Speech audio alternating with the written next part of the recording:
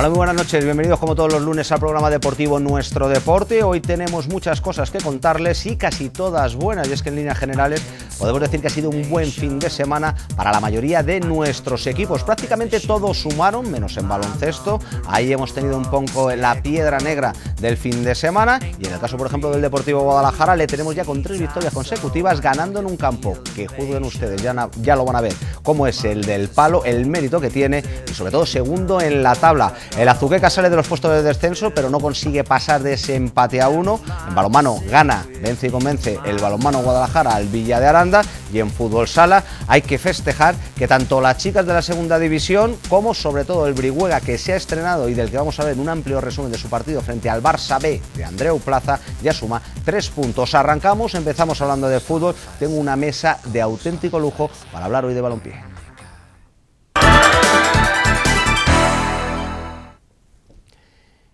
Y ya se lo he dicho, no es que solamente tengo una mesa de auténtico lujo, sino que además tenemos imágenes espectaculares tanto del partido del Deportivo Guadalajara como del partido de la Zuqueca. Por eso hoy nos visita nuestro contertulio habitual, Santiago Nuero, entrenador de fútbol, al que le digo ya que va a disfrutar, aunque quizás con el Azuqueca nos faltó un pelín de fortuna para que se hubieran quedado los tres puntos, pero con lo del Depor en el palo, mmm, luego no, nos das tu opinión, sobre todo una vez que vean las imágenes, porque era un partido harto complicado de ganar por las condiciones, el césped, etcétera, etcétera. ¿eh? Bueno, pero una vez más, resumiendo rápido lo que has dicho, el Deportivo poquito a poco va haciendo los deberes, va creciendo tácticamente el equipo, está sabiendo estar, controló el partido en el momento que, que, que empató y yo creo que podemos estar contentos porque poquito a poco, bueno, pues yo creo que tanto el, equipo técnico como la plantilla están sabiendo estar en la categoría, ¿no?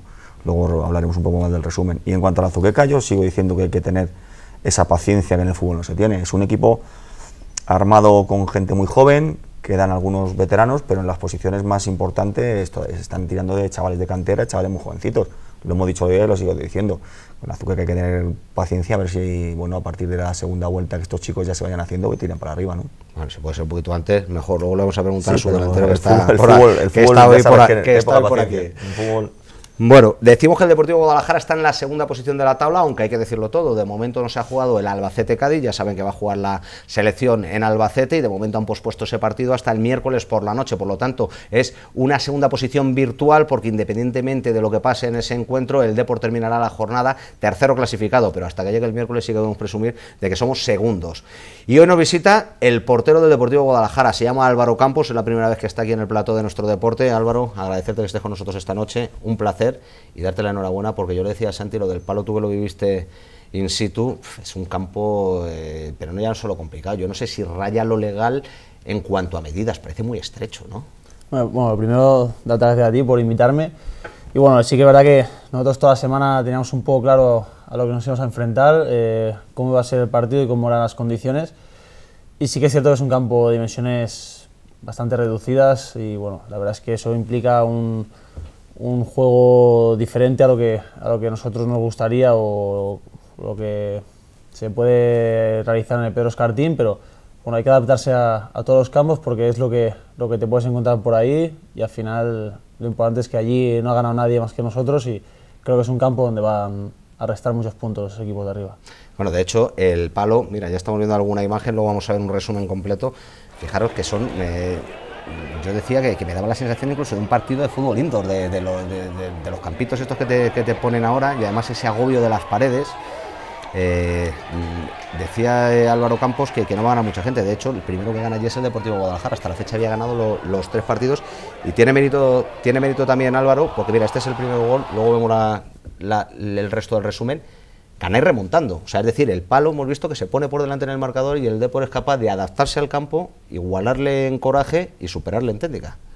Sí, bueno, nosotros teníamos claro que, que ahí no era un partido de, de esconderse, no era un partido de decir, bueno, vamos a tocar y manual el partido, no, era un partido para pelear a la misma a la misma altura que ellos, disputar a la misma fuerza que ellos y luego la calidad técnica sí que es cierto que, que, que se mostró. El jugador es un jugador de mucha calidad y, y ayer se, se demostró cuando un campo difícil, complicado, aparte de esa técnica, como te he dicho, al igualar la intensidad y la agresividad, al final pues salió esa, esa calidad que tenemos en plantilla y, y sacamos los, los tres puntos. Creo que eh, ellos no, no hicieron nada para, para, ganar el partido, creo que fuimos bastante, bastante superiores a ellos en, en todo aspecto. La primera parte fue un poco de 0-0 y ellos se encontraron con ese gol y bueno, al final nosotros en el descanso estábamos hablando y decíamos, si es que no nos ha hecho nada, ha sido un partido 0 estamos bien, vamos allá por ellos que nos vamos a, a merendar y fue así, fue actitud, actitud y actitud incluso luego pudo caer alguno más. De un portero a un delantero, se llama Esaú Rojo, ustedes le conocen, ese es el delantero centro del Club Deportivo Azuqueca, fue el autor del único tanto de los suyos en el empate a uno frente a las Pedroñeras, lo marcó de penalti Esaú, lo que pasa es que yo me imagino que igual que a nosotros, o a mí por lo menos particularmente, ese empate en casa frente a las Pedroñeras tiene que saber a poco, ¿no? Sí, la verdad es que ya hemos, este año no hemos empezado con buen pie, sí, verdad es que achacábamos un poquito la mala racha fuera de casa a la calidad de los equipos hemos enfrentado, pero bueno, yo creo que ya eso ya nos sirve como excusa.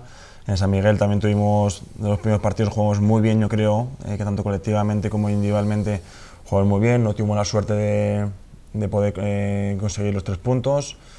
Y bueno, pues al final parece que nos está pesando, ¿no? Parece que, igual que el año pasado teníamos esa racha en el San Miguel, teníamos ¿no? el San Miguel como un fortín, este año parece que no terminamos de despegar y yo creo que el Azuqueca es, es fundamental que en su casa pues, consiga los tres puntos. Yo creo que, como ha dicho Santi, hay que tener un poco de paciencia y jugadores de mucha calidad, jugadores que, que van a aportar mucho a este equipo, como estamos hablando, como estamos viendo las imágenes, a Xavi por ejemplo, que no ha, no ha terminado de de meter el, ni un gol, lo que llamamos de temporada, pero es un jugador contrastado, ¿no? Eh, muchísimos años en Villarrobledo y tiene baja a sus espaldas que os tiene que dar resultados, claro. Entonces eh, también pues también está la falta de Pascu, Javier Robledo también como, como resuelve, son jugadores de peso, jugadores que te van a dar un poco más de consistencia en, el, en los partidos y bueno pues un poco a esperar, seguir trabajando y confiar en, en el cuerpo técnico. y creo que Miguel López López y Luis Ayón saben lo que, lo que hay que hacer, lo han demostrado durante estos años atrás, que han estado, hemos estado en playoff y bueno, pues eh, a seguir trabajando y que los resultados vayan siendo positivos. sobre todo un poco lo que decía Santi, a no ponerse nerviosos, que de momento está ahí, fuera de los puestos de descenso, sí que es verdad que esperemos que siga sumando y que llegue con más puntos, que empiece a puntuar también fuera de casa el Azuqueca y que podamos contar más alegrías. Vamos a ir viendo fútbol, vamos a ir viendo tanto Santi Álvaro como Esaú, tener los micrófonos abiertos, empezamos a ver un resumen del partido del Deportivo Guadalajara un resumen importante, un resumen de casi cinco minutos de lo más destacado de la victoria del Deportivo Guadalajara en la difícil cancha del Palo, equipo malagueño.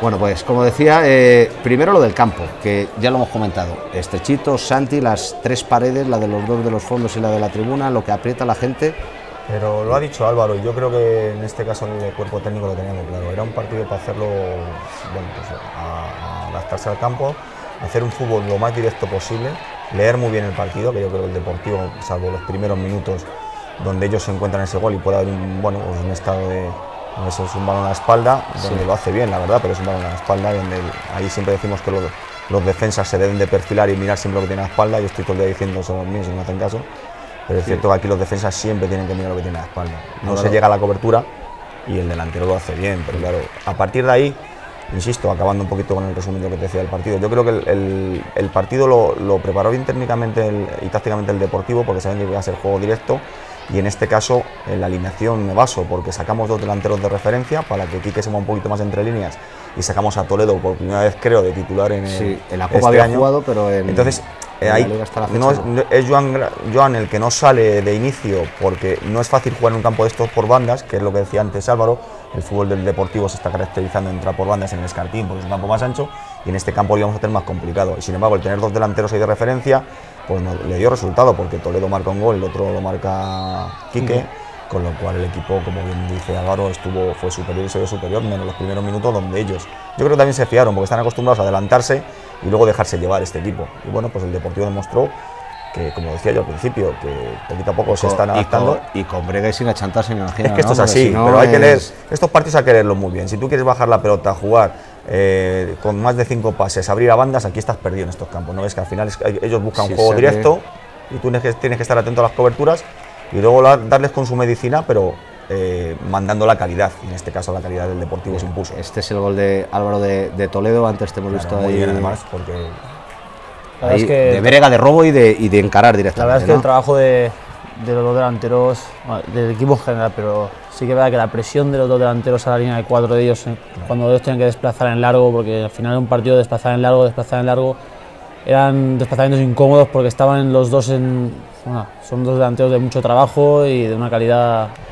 Para, para, tiene mucha calidad para el trabajo que desarrollan durante los 90 minutos. Para mí creo que son grandes delanteros y, Es la, clave, aportando es la clave del triunfo del partido. Si, si corren los de arriba, el equipo se repliega, estáis colocaditos y es la clave de que esos dos delanteros trabajaron. Mira, este es, eh, eh, además, no, no os conformáis con el empate, que a lo mejor incluso luego visto cómo había sido la trayectoria del palo en su campo, podríamos haber dicho a lo mejor antes de, de iniciarse la jornada, y, bueno, pues un empate a lo mejor allí en Málaga no está mal, no- no- hasta la fecha no había ganado nadie y demás, pero vemos que vais arriba. Y ellos ya prácticamente, no sé si es que le metéis el miedo en el cuerpo o que directamente no le dejáis salir, pero ellos ya les vemos atrás. Trabajó bien Zazo ahí entre líneas también, se estuvo más cómodo, por lo que yo escuché y lo que estoy viendo, lo poquito que estoy viendo, ¿verdad?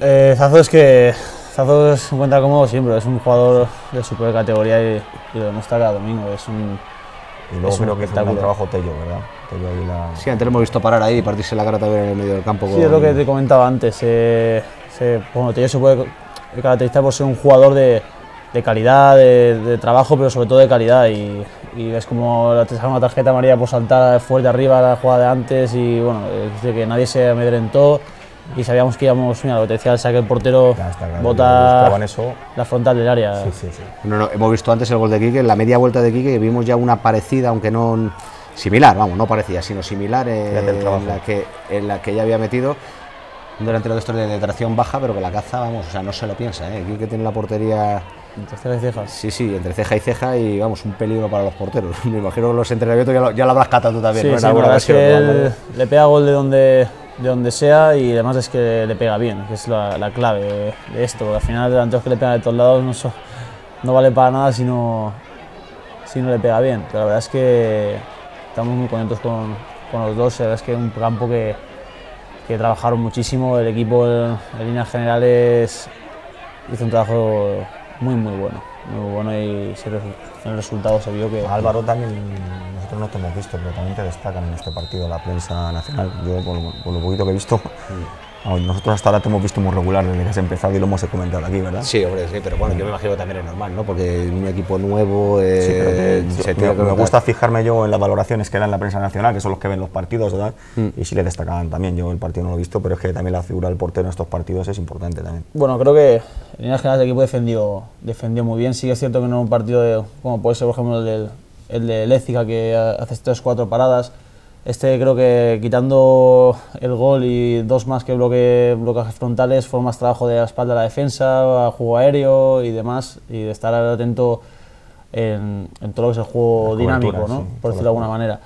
Pero creo que el equipo, los, eh, no errores, sino eh, los ajustes defensivos que tuvimos a lo mejor los primeros 3-4 partidos ya nos están cometiendo, el equipo está siendo mucho más sólido y la verdad es que se nota, se nota en el juego, que luego también hay una tranquilidad más, más Más rodado, ¿no? Más o sea, que rodado, según sí, pasa os vais conociendo más. Sí, que Hombre, es que quedan que- dos- hay que recordar a la gente que, que le pille de nuevo que es que quedan dos futbolistas del año pasado y el resto sois nuevos. O sea, que es que Sí, eso se tiene que notar, eso tiene además, su tiempo, eh, ¿no? en, en la- en el momento de la pretemporada que llegamos la mayoría, yo por ejemplo, yo voy a mi caso particular que yo llegué el martes de, de- de la misma semana de, de competición.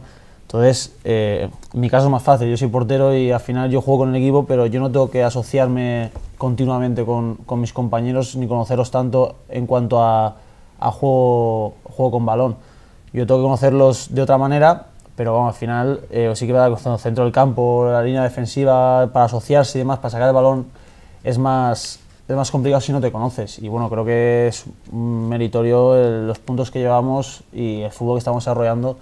Y creo que se está viendo cada partido que va pasando, tanto en casa como fuera, que vamos a más. A- al principio, el primer partido igual jugamos 20 minutos eh, a fútbol bien, el siguiente 30, el siguiente 40, y poco a poco estamos desarrollando un juego bastante, bastante ordenado y bastante coherente. Vamos a ver si vamos viendo además también si tenemos posibilidad en la clasificación y vemos al Deportivo Guadalajara ya encaramado en esa segunda posición de, de la tabla. Un Deportivo Guadalajara que además en esta jornada ha visto también como hay cambio de líder, era el Albacete, insistimos, Albacete y Cádiz, ahí lo tienen todos ustedes, llevan un partido menos.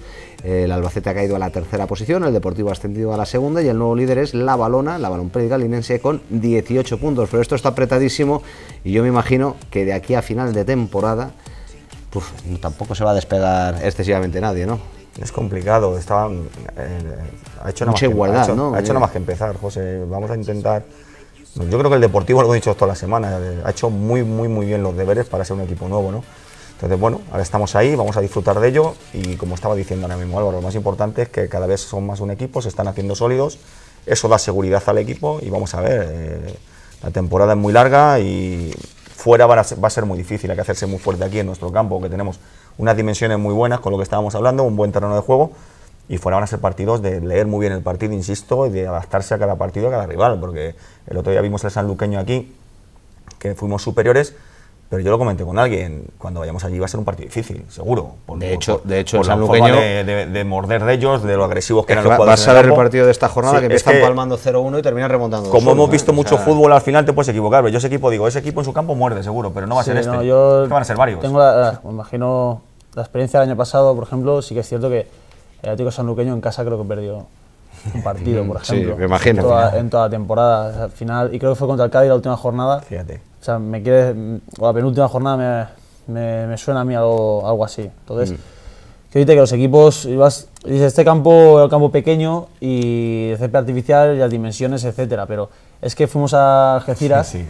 y el campo de parecido. Algeciras era o sea, un campo de, de hierba natural, pero es que no había hierba. Al final dices, no hay por dónde, por dónde coger el campo. Y Mira, así ve, por ejemplo, el campo de del arroyo, que lo estamos viendo, parece que tiene buen césped. Estos son los buenos de que tenemos Arroyo. de esta jornada, ¿eh? Parece que dentro de lo que cabe no es de lo peor, ¿no? Mira Que cómo empató a bota, cero. El campo de arroyo es césped artificial. Es ¿no? artificial, sí. Mm. Pues, dentro, pues entonces a lo mejor pues está un poquito más. Sí, pero hoy se estaba uniforme. quejando Lopetegui del campo del Cartagena, que juegan esta noche. Sí, bueno. Estarán jugando. Si está, como, si está como cuando fuimos nosotros, está horroroso. Y le vimos el otro día en las, en las imágenes y estaba el campo, vamos, daba, daba- daba pena en la televisión las imágenes y estaba quejando hoy la sub-21 que creo que juegan ahí. Sí, como si no jugando. supiera dónde, dónde iba. Mira, este es lo que te decía yo de. Hablabas tú del Sanluqueño, la remontada. Se pone el Granada B, que por cierto, el Granada B es el partido que tiene el Deportivo Guadalajara aquí, sábado seis y media, como pues, siguiente jornada. Se pone por delante y rápidamente el equipo de Carlos Ríos, aquí el penalti, hace una cosa muy rara tú. El portero de. El portero de. El portero de Granada B se va para el otro lado, pero no llega ni a tirarse. Y luego al final le terminan remontando. Además, son goles que llegan en el 82 y 87. Mendoza de penalti y Salvi. Nico es el que había adelantado al, al Granada B. El nuevo líder, la balona. Esto sí que juegan bien al fútbol. Esto ya nos pegaron aquí un repaso y la verdad es que siguen, aunque luego han perdido algún partido, pero yo creo que es uno de los equipos a tener en cuenta ¿eh? de aquí al final. Estos ya muchos juntos, ya varios años, mismo bloque, y saben lo que juegan. Ellos juegan a juego directo y, y desde la segunda jugada hacen muy buen fútbol. Y eso al final, pues. Te da muchos puntos, ¿no? Y te- te Conocerse a los compañeros es muy importante. Eso que han perdido a- al delantero del año pasado, que están en San Fernando, y no lo están, no lo están notando. Es el equipo con más oficio que ha pasado por aquí de momento, ¿no? Bueno, la balona Sergio Ortiz Sí. y Chema Mato.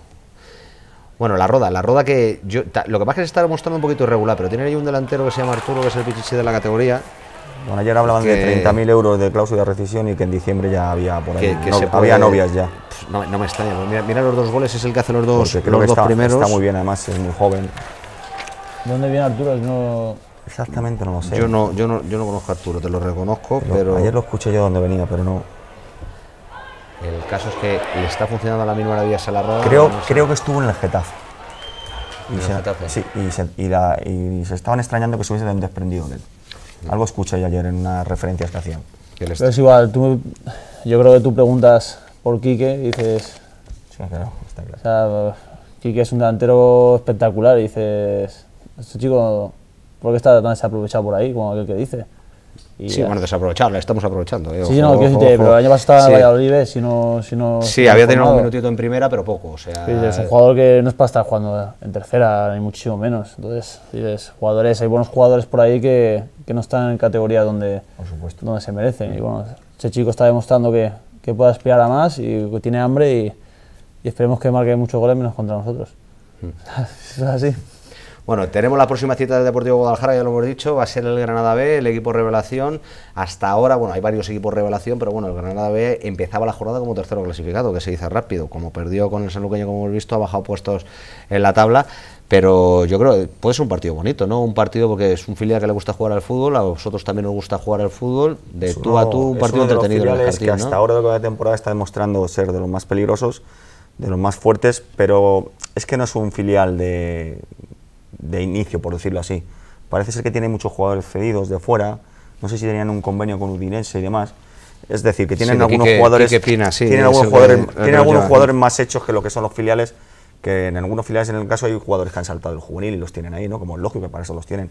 Es un filial no tan tan tan, tan formado Tan desde, uso, la, desde ¿no? la cantera y hasta ahora es el que más fuerte se está demostrando de los filiales. Va a ser un partido, no va a ser un partido fácil, yo creo, para eh, este fin de semana. Esperemos que nosotros hagamos este fútbol que nos estamos viendo en el Escartín y podamos sacar los el partido adelante y adelantarnos prontito, porque no, va a ser un partido fácil. ¿eh? Mm. Álvaro, eh, estamos segundos, sí que verdad que es virtual, porque pase lo que pase, alguno tendrá que sumar, o en el caso de empate acabaremos terceros. Objetivo está claro, que era playoff, eso lo dijo Salva Chua, lo dijo el propio presidente en rueda de prensa. Eh, ¿Compartes? O sea, eh, el otro día decía en rueda de prensa, quién fue que, no sé quién fue quien salió, yo creo que fue Joan Grasa, yo hasta la fecha no he visto a ningún equipo que sea superior a nosotros. Sí que verdad que la balona no ganó y demás, dice, pero bueno, tú miras hombre por hombre cómo va la cosa, no parece que tengamos que temer a nadie, ¿no? Respeto a todos, pero miedo, Bueno, nosotros no tenemos miedo absolutamente a, ningún equipo. De hecho, los partidos que hemos jugado, la Balona, un equipo rodado de dos años, bastante compenetrado entre ellos, nos ganó 2-1. Y bueno, entre comillas, con un poco. Nosotros no estuvimos, creo que fue nuestro peor partido, lo que de temporada. O sea, dentro de cabe, te gana 2-1 el, el teórico equipo más, más consolidado de, de los que están en nuestro grupo estando sobre todo el peor partido. Vamos a jugar a Carranza estando dos, dos tres semanas juntos y no empatamos eh, a última final, hora porque, verdad. porque la sacan así bajo los palos. Al final dices, el Cádiz de quedar primero eh, ya no va primero y, y no es tan bueno como hace un mes. Al final la gente son equipos muy, muy parejos donde nosotros, la verdad es que nuestro objetivo es playoff, es obvio, está claro, pero nosotros tenemos que pensar en seguir mejorando y en seguir puntuando. O sea, todo lo que sea puntuar y mejorar va es positivo para nosotros. Eh, no he visto ningún equipo que gane la jornada 18 La- la, liga, ni que ascienda. Entonces, esto es juego de 38 jornadas y tenemos que seguir martillo pilón ahí trabajando para, para transmitirnos a nosotros mejores sensaciones, eh, mejor juego y los resultados que sigan siendo positivos y si, si se pueden mejorar, pues, pues mejor.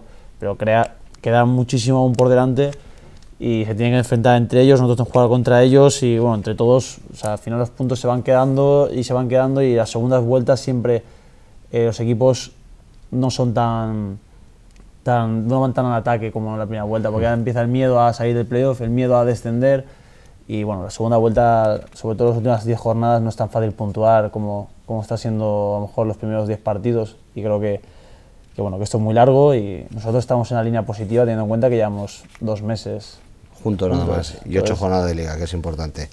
Bueno, vamos a seguir viendo fútbol. Esaú, toca el turno de la Azuqueca, he preparado un resumen, me, me decía antes que no era quizás el mejor partido de los rojinegros. Vamos con el Azuqueca y seguimos comentando lo que ha pasado esta jornada.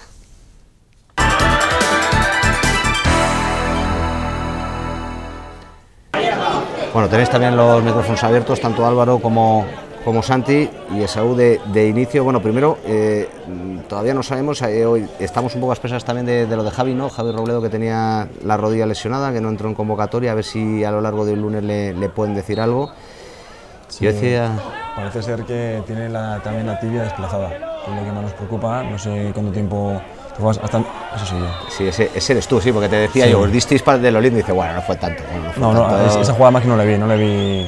Hablaba de Involuntaria, Javier, sí, hablaba de Javier Robledo y eso que es. ¿Ni tarjeta te sacan? No, fue con el culo, fue un poco con el culo. Fue al principio, no. Acaba de empezar, ¿no? Y bueno, hablando de Javier Robledo, pues eso, que no sabemos cuánto. Te fueras llevar dos semanas entrenando con la tibia desplazada, están entrenando a un alto nivel. Y bueno, tendremos que se recupere lo antes posible, que es un delantero que te aporta cosas. Y luego Pascu tampoco ha podido estar, también después de la expulsión no ha estado al 100%. Y bueno, y, Bueno, y Javi, y Javi Alonso, que, que lo hizo estupendamente el, el cancerbero que, que debutaba. eh, Carlos. Eh. espérate que todavía no le tengo yo muy, muy controlado. Car- Sergio, Sergio. Sánchez, Sergio Sánchez. Sergio, Sergio Sánchez, que hemos visto que, que detenía la primera, seguía la segunda y aquí, bueno, no sé si penalti o no de, creo que era Miguelón, un poquito justo. Y Yo, viendo- yo creo que sí, yo creo que sí es penalti porque el, el delantero lo busca. La verdad es que Miguelón se intenta apartar, pero Miguelón, el delantero choca contra ellos. Y esto es la tangana que prácticamente miráis todos a la grada porque se enzarzan ahí gente de, de las pedroñeras con gente de Azuqueca, tiene que ir la Guardia Civil, todo esto es con el partido jugándose. ¿Os dais yo cuenta de, creo- de lo que sí, está pasando? eh, Yo creo que nos perjudicó bastante la primera parte porque estábamos era un poco el tú a tú, no estamos del todo metidos en el partido y esto ya fue lo que nos sacó totalmente del, del partido. Y, y, bueno, la verdad es que no benefició mucho. Sí verdad que yo por eh, gente que estaba allí en la grada escuché de que debía ser, que ya no, no, es la primera vez que pasa, que viene gente pues, a increpar un poco, ¿no? a insultar a gente. Y bueno, yo creo que de aquí un mensaje a la gente que venga a ver el fútbol, pues que venga a ver el fútbol, simplemente, ¿no? que no se dediquen ni a insultar ni a los jugadores, ni, a, ni, al, ni al club, y menos viniendo de fuera si vienes 20 personas y te encargas ahí en la propia grada de insultar a los propios jugadores, pues al final se provoca esto. Y es lo que no queremos en, en, el fútbol. Hemos visto que disteis, porque a ti también te dieron, que es lo que me decías. Eres una de ahí arriba que, que intentabas llevar tu balón largo y al final te llevaste un viaje. Y esta es una lástima, ¿no? Porque si te va un. Bueno, se, no, la, se te va el defensa. el defensa, no sí. Yo me di la vuelta, pero la da un poco el, el pie. La verdad es que no fue el mejor partido. Salimos muy laxos. El, estábamos muy, muy fríos, no sé realmente el motivo de, esa falta de intensidad, que como recordaba antes, el año pasado salíamos a morder la primera parte de los primeros 20 minutos, asfixiábamos al rival. Este año no sé si por falta de seguridad o porque a lo mejor no hemos empezado la liga tan fuerte y parece que no estamos en la línea que, que inicialmente buscábamos, pero nos cuesta, nos cuesta en casa. Sí, es verdad que fueron entradas muy, muy duras. Sí. Ahí... Pero también yo creo que fue un motivo un poco de, de, la situación del equipo. Veíamos que las cosas no funcionaban, veían que no llegábamos bien, que cuando teníamos el balón lo perdíamos muy rápido y al final pues lo que haces es esa impotencia, pues a lo mejor llegas a destiempo y, hay, y cometes faltas. falta de seguridad, a lo mejor no, eh, que, que, en otro momento no... Hmm. Pero bueno, oye, hay, que re, hay que ver que, que, que sí que disteis vosotros, pero insisto, fue un partido de, de tú a tú de los dos y, y que recibisteis los, los dos Mira, ahí yo no sé exactamente qué, yo creo que es un plantillazo, el propio me dice que te sí, pasa, no, enseña la... Ahí fue un, un contrabalón que si es verdad que juega al pegar, Ulcina pues con la inercia pues solta un poco la pierna y le clava, entonces bueno, el otro se da la vuelta y pero bueno, un enlace del juego. La estima esta de Miguelón, mm. que cabecea y se la sacan por los pelos. Sí, el, el, problema es que luego al final, los últimos 20 minutos sí apretamos y sí somos la ciudad que queremos ser, pero durante la primera parte... ¿Es penalti? ¿Es AU? Es, es, sí, la yo, creo, yo creo que sí, mira, sí, lo, la, lo hemos ralentizado pon un poquito mano de ahí de, ahí sí porque, de voleibol, ¿no? Como sí. se la mata para dejársela. Eh, ojo es involuntaria, pero ahí en el área pues no sabemos. Y luego, pues bueno, parece que no, pues compensa el, el árbitro luego con el otro, con el otro que también fue un poquito justo. Aquí lo tienes claro que. Sí, yo no vas a tirar. los penaltis, la verdad es que estoy muy seguro tirándolos, no fallan un penalti en lo que llevo en tercera división. Y pero bueno, la cuestión es que ahí es, es un detalle que si ve que nos, estás, nos está costando un poco no ponernos a favor del marcador y te pones con un penalti, aunque haya sido de manera, pues bueno, justa o como quieras verlo, que adelantes el marcador haciendo un buen partido, tienes que ser más sólidos. Y tienes que intentar mantener la portería cero más en tu casa, pero bueno. Echar el cierre, ¿no? Por decirlo de alguna manera, que se juegue que, poco, aunque tampoco se juegue en exceso. Sí, sí, aunque, aunque, a lo mejor no lleguemos a, a, meter el segundo gol, pero la portería cero hay que mantenerla. Y eso es lo que nos está fallando bastante. Que por fallos tontos, aquí por ejemplo, mira, ahí es penalti, claro, Sí, el árbitro ralentizado. El árbitro no, yo con el árbitro no quiero entrar a valorar porque. Empujón, a lo mejor no hay. Lo que pasa es que yo creo que fuera es aún. A lo mejor, a lo mejor es fuera, pero, pero, fuera, pero bueno. Pero bueno, algo te que evitar. Yo los árbitros. Roja en todo caso, falta, falta de sí, roja. aunque la saque fuera por ser último, sí. Pero bueno, yo los árbitros no quiero entrar a valorar porque. Este es el que os pitan en contra. Ese. Que yo creo que va. Eh, ¿Es, ¿Es Miguelón? Sí, es Miguelón. Que sí, va un poco pasado de frenada, ¿no? El... Pues la verdad es que Miguelón intenta quitarse. Pero claro, el, el delantero lo hace muy bien, le busca, va contra él yo creo que sí que puede ser penalti, pero yo creo que. Sí, lo que es choca. Se tira, se tira, pero, no pero yo creo que toca, que es contacto. Por el delantero, sí, no tiene sí. posibilidad de, de, llegar a encontrar el balón. Pero, pero lo bueno. hace bien, lo hace bien. Bueno, ahí ya el portero no tiene culpa, el portero Cuidadito con este equipo, con las pedrañeras, que tiene 4 o 5 jugadores en la parte de arriba que van muy bien. ¿eh? Pacheco, sí, no, no, no, malos jugadores. No, no, tiene buenos jugadores. Tiene Gustavo calidad. Porras es el Pero la verdad es que. mm, El número 7 Joaquín, no sé cómo estarían, pero eso. Y luego David Bustos, que está en el banquillo, un delantero muy, muy potente. Este equipo arriba tiene chavales jóvenes que van muy bien, ¿eh? De hecho, está bien, bien situado en la tabla. Las Pedroñeras ¿Qué te suena? Dice, bueno, está en la posición número 11 con 11 puntos. Con lo cual eso quiere decir que ya lleva ahí un bagaje de puntos que no, que no creo que se los hayan regalado. Este fuera de juego. Ese fuera de juego. Yo no tuyo, sí sino no, es de, Quique, de Ureña, ¿no? De Quique Ureña que sí, va por delante. Yo se, la, yo se la toco porque intento, intento prolongarla. Al final se queda un poco en el aire. La coge Quique y sí me comentó que podía estar en posición antirreglamentaria. Aquí una jugada de Kevin que es espectacular, la velocidad que tiene este chico. Yo, según me vi, y ahí el portero bueno, pero viaje, o sea, va, va, con el, va con el, va con el no, codo, claro, ¿no? O sea, Ya no sé hasta qué punto. Sí, es amarilla, está en la banda, pero. Yo creo que está bien pitado, es amarilla. Hombre, él va a cortar y a que, porque yo creo que llega un poco tarde, ¿no? es- y ve que no. No es una cosa manifiesta de gol, porque él va hacia afuera y. Hombre, la roja podría haber sido por, por si interpreta agresión, más que falta. No, pero si interpreta que no hay agresión, pues amarilla, yo creo. Y aquí te cargan también un poquito, pero bueno, yo creo que no se puede evitar nada, ¿no? En el- No sé, la verdad es que luego al final, los últimos 20 minutos se arreamos bastante, intentamos apretar, pero claro, es que la primera parte, desde mi punto de vista, creo que se perdió, se empezaron a pasar minutos y no fuimos conscientes de que en la San Miguel el año pasado nuestro éxito prácticamente estaba en la primera parte. Y tanto si nos pusiéramos por delante, solamente por el ritmo que imponíamos en el partido, asfixiamos tanto al, al equipo el rival que luego la segunda parte no podían. Pero bueno, este año parece que nos está costando hacernos fuertes en el... Esta, esta pide Miguelón penalti. Sí que verdad, mira, No te va a conceder otro penalti. más. Eh, yo, no, sé- yo no sé, pero yo creo, mira, yo creo que este Debe penalti le- sí. sí. Sí, que es verdad que va forzado, pero fíjate que le termina enganchando ahí un poquito la cadera. Ah, yo tampoco habría pedido penalti, ¿eh? Pero. Eh, uno sé. pitando uno en cada área no se complican. Estos árbitros, la verdad es que Eh, Esta es la, la última, o sea, morís arriba, nos quedaba otra. Y bueno, hay que decir lo, lo que yo señalaba antes, posición número decimosexta para el Azuqueca, cinco puntitos, sale de los puestos de descenso directo, pero bueno, está también con los mismos cinco puntos, por ejemplo, que tiene el Manzanares, que es el que abre la zona de, de descenso directo. Bueno, me dicen que no tenemos tiempo para más, o sea que me queda agradeceros que hayáis estado nosotros aquí esta noche. Santi, ha sido un placer. Que sabemos que ha sido un fin de semana duro, que te tocó también echar una mano allí con lo de Nipace ¿no? el viernes, con lo cual llevas un fin de semana de fútbol, fútbol indoor, fútbol sala, por unos motivos y por otros tremendo. Un ¿no? poquito de todo, sí. Pues muchísimas gracias por estar Nada, gracias con a nosotros y te espero el lunes que viene a ver si contamos una nueva victoria del Depor frente al Granada B y una victoria de la Zuqueca. Esaú, gracias por estar con nosotros, que salís a Ciudad Real, se lo recordamos, y que ahí pues intentaréis que llegue la primera a domicilio, ¿no? sí, yo creo que es un rival de nuestra liga, a priori, sobre todo por los resultados, intentaremos conseguir la primera victoria fuera de casa. Bueno, pues ojalá te encontremos el lunes. Y me queda por despedir al portero del Deportivo Guadalajara, Álvaro Campos, con quien también ha sido un placer charlar de fútbol, espero que también te lo hayas pasado bien, que es la primera vez que venías invitado al, al programa, ya sabes que cuando quieras tienes puertas abiertas si quieres venir aquí un lunes a, a ver buen fútbol y sobre todo a ver si seguís ganando, que es lo más importante Ha también. sido un placer estar aquí. Y bueno, esperemos que, que todo el lunes puedas dar la noticia que, que el Depor ha ganado y que, y que sea alegría para todos y, y lo disfrutemos. No, lo disfrutamos todos, yo primero, ¿eh? yo feliz.